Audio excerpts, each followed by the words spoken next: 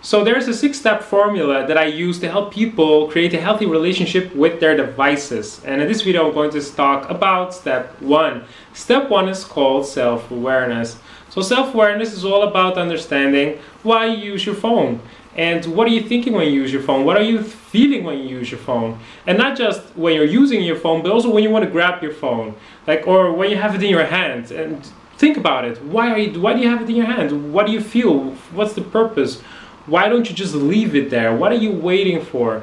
And also, when you want to go for your phone, is it because of a notification, that external trigger, or is it because of an internal trigger?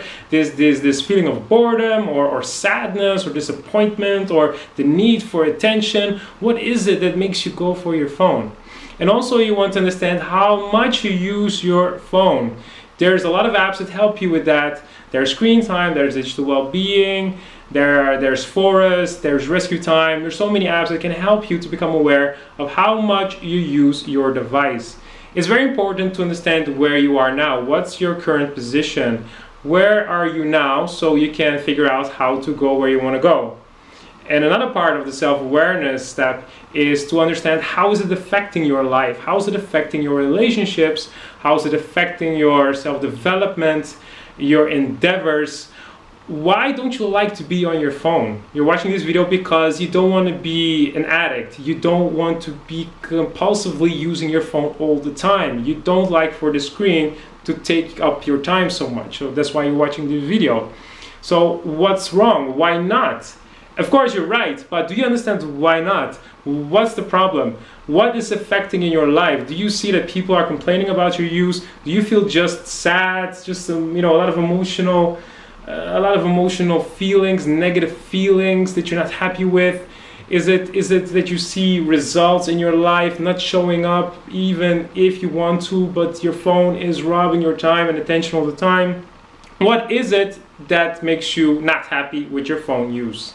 And then you want to think about how you do want to see your relationship. What do you want for your relationship to look like? How do you want for your self-development to look like? How do you want for your results in life to look like? How do you want to see yourself?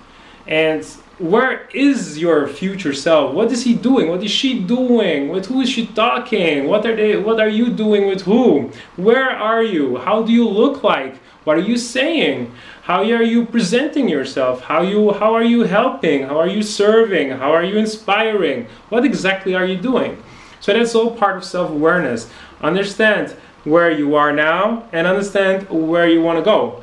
And then also understand that there will be thoughts that try to tell you that why do you need to change? Everyone is using their, their phones.